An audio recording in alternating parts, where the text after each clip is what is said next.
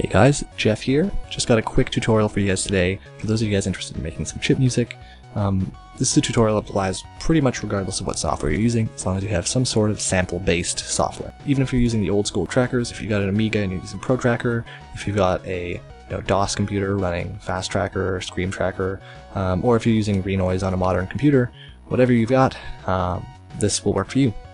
So the tutorial is on how to do hand-drawn single-cycle old-school chiptune waveform samples, which sound more complicated than they are. So what we're going to be making are hand-drawn waveforms.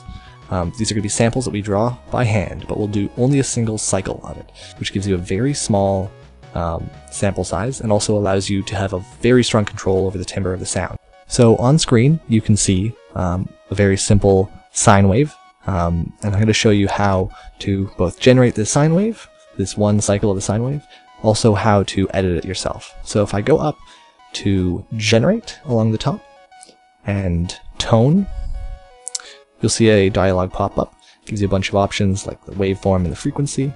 So you can select a waveform that will work as your base that you can then draw over and edit. Um, so I'm going to select um, I'm going to select a square and uh, in the frequency here, you can see that it says 261.626.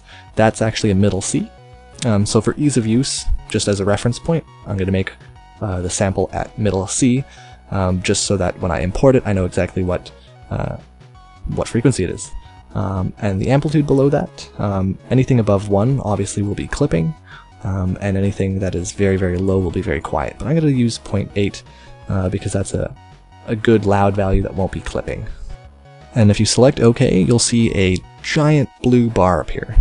Um, if you press play right now, there will be a very loud, very annoying noise, but if you zoom in, you'll see the waveform that you selected um, repeating in cycles. So we're only going to need a single cycle of this. So if you switch to the selector tool and select, uh, just select a little bit more there, yeah, select an entire cycle, and then go up to Edit, Remove Audio, Trim shortcut for that is Control T, and you'll see we now have uh, just a single cycle of that wave, which we can now edit. So if you go up to the top again and select that pencil tool, the draw tool, so you'll see a bunch of points appear. If you zoom out too far, you'll notice those points disappear, and if you try to draw on the waveform, you'll get an error message like this.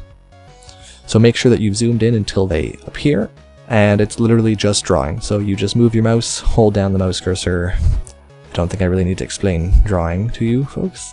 If you'd like to play this note back, all you have to do is hold shift and press space. So not that I think anyone really needs it a second time, but uh, just to walk you through it again, um, for those of you that might maybe be confused or something. So all you have to do is go up to generate tone then select the waveform you'd like. Uh, this time I will select a sawtooth because it's different. And you'll see that is generated. You zoom in, you use the select tool, the selection tool, select a single cycle of this wave, Control T. Now you can use the draw tool to edit the wave however you'd like to edit it. Hope you guys enjoyed. If you somehow have some questions, feel free to ask. If you enjoyed it, thumbs up. If you want to share it, feel free. And hope you guys are able to use this for something. Cheers.